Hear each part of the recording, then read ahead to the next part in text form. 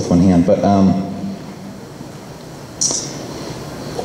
he says that, well, how do we go about then showing the love that women need, and how do we go about the women showing the men the respect that they deserve? So, what I want to start with is actually the women's part.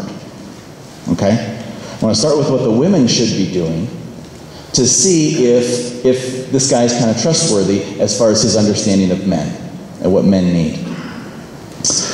So he uses this anachronism called chairs. So men need chairs.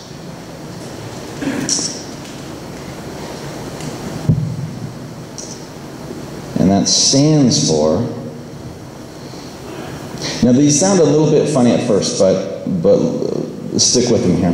What chair stands for is C is for conquest, H is for hierarchy, A is for authority, I is for insight, R is for relationship, and S is for sexuality. Okay? Now listen to these though, put out a little bit more. So C for conquest, you think, well, hey, what are you talking about? I don't need to conquest everything. I need to conquer everything. That doesn't, that's not me. Here's what he means by that. He says men have a desire that um, for the woman to appreciate his desire to work and achieve. That she would appreciate his desire to work and achieve. So that's the first one. H, hierarchy. That he has a desire, desire for her to appreciate his desire to protect and provide. That he wants to protect and provide, and he needs her to see that and, and admire it and desire it and respect it.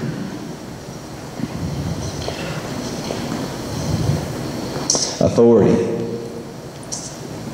He wants her to appreciate his desire to serve and to lead. That the man wants to serve his family, he wants to lead his family. And he needs her to respect that and to honor that.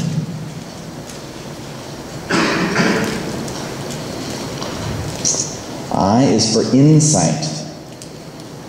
Men need her to appreciate his desire to analyze and counsel. Right? Now, don't you hear that sometimes? Oh, you're analyzing too much, you're thinking too much, you're trying to solve the problem or whatever. And, well, yeah, we want to try and solve the problem. I mean, what's wrong with that all the time? So, so there's a quality of our desire to analyze and to counsel, and that we want her to, to admire that and to see the good in that, and that we're actually trying to love by doing that. R is for relationship, that um, he wants her to appreciate his desire for shoulder to shoulder friendship. Actually, that you, that you want to be friends with her. In fact, in America, most men in America have only one friend, and it's their wife. And that's a good thing that they're friends with their wife, but also um, groups like this are important because we want men to have more than just one friend um, and hopefully even a good male friend, because um, there's something really important in that too. So that's why it's great to have evenings like tonight. But men want to be friends. They don't want to be fighting. They don't want to be stressed. Uh, they just, you know, let's just be friends. Okay, and then S for sexuality, to appreciate his desire for sexual intimacy. Okay? All right. And a word about that. So it puts that in here. And it's telling the ladies to really be open to the importance of sex for men. Okay? Now, at the same time, what it doesn't say, but I'm going to say to you, uh, guys, you have a duty to rein in the lust, though. Okay? That doesn't give you an excuse to just be lusting everywhere all over the place. But there is that balance. And so you got to find that balance. Okay, so does that does it sound like he understands men at least pretty well? at least decently enough to, to hear what his advice might be. So maybe he's going to be able to say, okay, how can we act so that women feel loved?